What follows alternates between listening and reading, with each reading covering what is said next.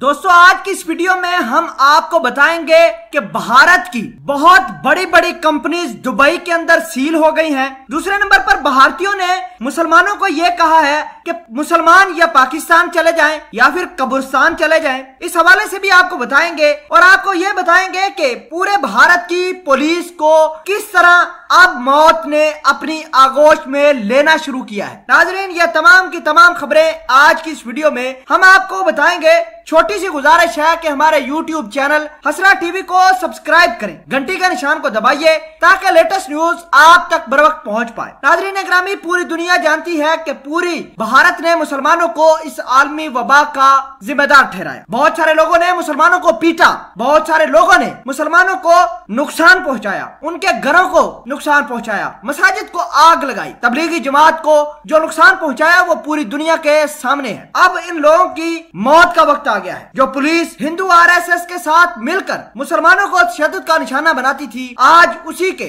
साढ़े चालीस हज़ार लोगों को आलमी वबा ने घेर लिया है। ये वो लोग थे जो कहते थे कि भारतीय मुसलमान या कब्रस्तान चले जाएँ या फिर मुसलमानों के पास पाकिस्तान चले जाएँ। भारत के अंदर उनकी कोई जगह नहीं। बहरहाल, मोदी ने बहुत प्लानिंग के तहत अपने लोगों को मुतहरक किया, मीडिया सेल को मुतहरक किया। लोगों को बताया कि मुसलमान इस आलमी वबा का जिम्मेदार है, लिहाजा उनको मारा और पीटा जाए। यह कहना था कि मोदी और इसके आरएसएस के गुंडों को दुबई ने आन गिरा दुबई की शहजादी हिंदल काश्मी ने भारतीयों को ऐसा मज़ा चिखाया है कि भारत के सारे के सारे जो घुमंड थे, गरूर था, वो बाहर निकल गया। आपको ये बता दें कि बी आर सेठी की सारी की सारी प्रॉपर्टी मुंजमिद कर दी गई है। उनके बैंक अकाउंट बंद कर दिए गए हैं। भारत की बड़ी बड़ी फर्म्स जो दुबई के अंदर काम कर रही थी, उनको ब्लैक लिस्ट कर दिया गया है। आपको बता दें कि बी आर सेठी को तमाम तर कहानी के पीछे मुसलमानों के साथ ज्यादती करने और इस्लाम के खिलाफ बकवास करने की पदाश में अभी तक आठ बिलियन डॉलर का नुकसान हो चुका है। मैं आपको यहाँ क्लियर करना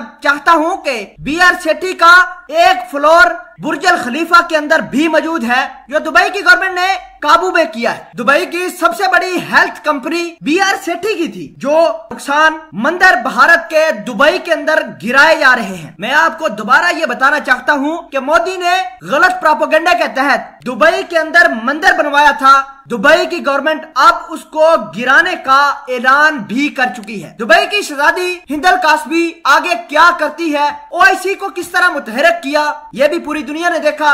यूनाइटेड नेशन के अंदर ओआईसी ने खत लिखा है और बताया है कि मुसलमान जो भारत के अंदर हैं, उनके साथ ज्यादती की जा रही है। अगर आलमी दुनिया इसके खिलाफ एक्शन नहीं लेती तो हम एक्शन लेंगे। नाजरीन ग्रामी इस तमाम तर खेल को आप किस तरह सोचते हैं, देखते हैं, ये हम आप पर छोड़ते हैं। कमेंट सेक्शन में इस वीडियो के बारे में ज़रूर बताइएगा।